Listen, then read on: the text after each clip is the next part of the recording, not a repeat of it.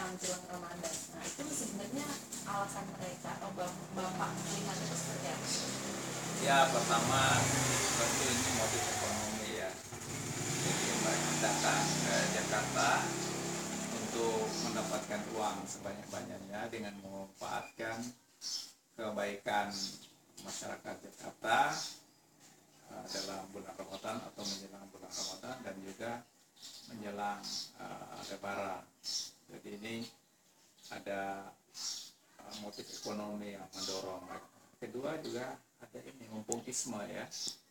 Jadi mereka mumpung uh, orang lagi mau puasa, mau lebaran gitu, wah itu kan orang-orang yang punya uang berlomba ingin meraih apa itu kebaikan, uh, meraih pahala yang banyak. Nah, jadi mereka mau bersedekah, mau infak dan sebagainya, dan kemudian kebaikan mereka itu disalurkan pada orang-orang yang ekonomis ya.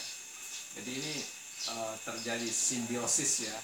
Satu pihak orang-orang miskin yang kemudian menjadi profesi pengemis ingin mendapatkan uang sebanyak-banyaknya, tetapi juga ada orang-orang kaya yang ingin mendapatkan pahala sebanyak-banyaknya ya bertemulah di situ Uh, kemudian terjadilah uh, uh, suatu simbiosis mutualistis untuk uh, meraih kebaikan di satu pihak tapi juga meraih keuntungan se- sebanyak-banyaknya Ya.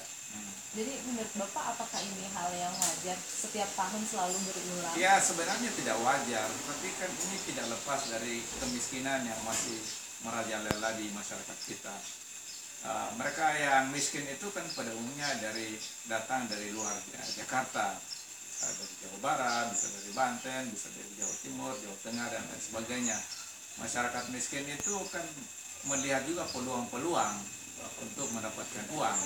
Salah satu cara untuk mendapatkan uang yang banyak uh, adalah menjadi pengemis dan itu tidak terlalu sulit bagi mereka karena itu ada juga yang meng, mereka ya.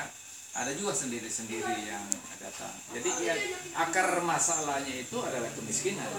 Kalau kita bisa mengurangi kemiskinan itu ya saya kira juga eh, tidak akan terjadi seperti itu. Jadi kemiskinan kemudian budaya kemiskinan budaya kemiskinan itu ketergantungan kepada orang-orang yang berpunya. Kemudian eh, tidak lagi malu menjadi pengemis gitu ya kemudian juga melihat peluang-peluang menjadi pengemis itu baik untuk mendapatkan uang. Jadi hal-hal seperti itu di samping kita berusaha mengurangi jumlah orang-orang miskin tapi juga budaya kemiskinan itu kita harus eh, hilangkan dengan memberi pencerahan, penyadaran, kemudian eh, lebih intensif lagi untuk